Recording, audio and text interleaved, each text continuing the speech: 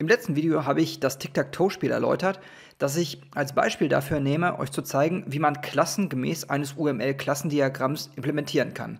So, und dafür habe ich auch schon dieses Klassendiagramm hier aufgestellt, das ich jetzt Schritt für Schritt implementieren werde. In diesem Video zeige ich euch, wie man eine sehr einfache Klasse, nämlich diese Enumeration Field State umsetzt. Und falls ihr Interesse daran habt, dieses Spiel nachzuprogrammieren, aber nicht jede Zeile Code aus diesem Video abtippen wollt, findet ihr auf GitHub unter diesem Link hier die gesamten Quellen. Okay, los geht's mit dem Programmieren. Das Projekt, das ich jetzt hier geöffnet habe, ist noch leer, bis auf diese eine Datei main.cpp, in der aber wirklich nur die Main-Funktion steckt und sonst gar nichts.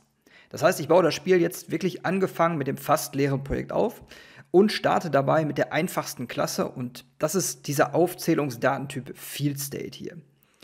Das ist also keine Klasse im eigentlichen Sinne, sondern nur ein benutzerdefinierter Datentyp, sozusagen ein Hilfselement oder ein nützliches Element in der Software.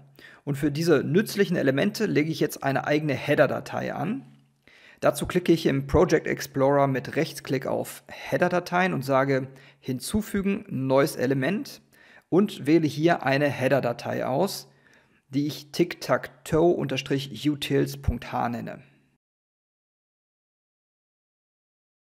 So, und hier lege ich nun die Enumeration Field State an, und zwar so. Den Aufzählungsdatentypen enum habe ich ja schon in dem Video zur C-Programmierung erklärt, das ich hier oben verlinkt habe.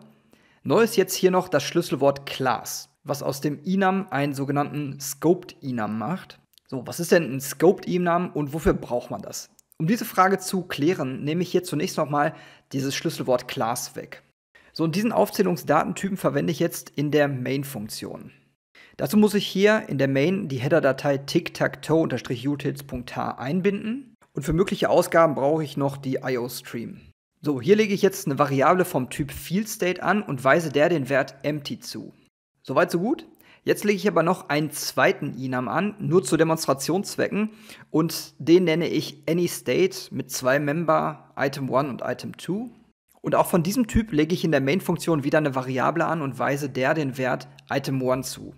So, damit habe ich also zwei Variablen von unterschiedlichen benutzerdefinierten Datentypen, FieldState und AnyState.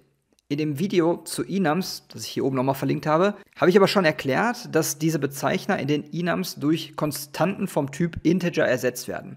Das heißt, hinter jedem dieser Bezeichner, empty, player1 oder item1, item2 und so weiter, steht also ein Integer und deswegen kann man die Variablen von FieldState und AnyState auch miteinander vergleichen.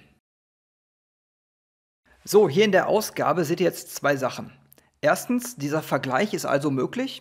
Und zweitens, das Ergebnis ist, dass die Werte von fs und as identisch sind. Ja klar, denn die zugeordneten Werte sind ja jeweils 0. Aber tatsächlich habe ich hier ja sozusagen Äpfel mit Birnen verglichen, denn was hat ein Field State mit Any State zu tun? Oder anders ausgedrückt, um diesen Vergleich der Variablen vom Typ Field State und Any State durchführen zu können, müssen die Variablen aus ihrem Geltungsbereich, also aus dem Scope, jeweils herausgelöst werden. Das ist also nicht besonders gut und besser wäre es, einem enum Aufzählungsdatentyp einen festen Geltungsbereich zu geben. Und das mache ich, indem ich bei der Typendefinition das Schlüsselwort Class hinzufüge. Wenn wir jetzt wieder in die Main-Funktion gucken, dann sehen wir die Konsequenzen dieser Änderung. Denn das sind zunächst einmal drei Fehler. Die ersten zwei Fehler hier sagen, dass die Bezeichner empty und item1 nicht bekannt sind. Die Bezeichner aus den enums können also nun nicht mehr losgelöst von ihrem Scope verwendet werden und der muss jetzt ähnlich wie beim Namensraum immer mit angegeben werden. Der dritte Fehler ist, dass die Datentypen nun nicht mehr verglichen werden können. Der Vergleich von Äpfel und Birnen ist also jetzt nicht mehr möglich. Stattdessen kann man aber eine enum-Variable mit den Werten innerhalb ihres eigenen Scopes vergleichen, also zum Beispiel so. Übrigens hätte man hier bei der Typendefinition statt dem Schlüsselwort Class auch das Schlüsselwort Struct verwenden können. Und das bewegt nämlich in diesem Fall das gleiche. Okay, so die Implementierung der Klasse FieldState ist damit also fertig. Die anderen Code-Teile waren ja nur für die Erklärung des Schlüsselworts Class. Die brauche ich also nicht mehr und deswegen fliegen die jetzt wieder raus. Im nächsten Video baue ich das Beispiel dann weiter aus und zeige euch, wie man die Klassen Playground Model und Player erstellt.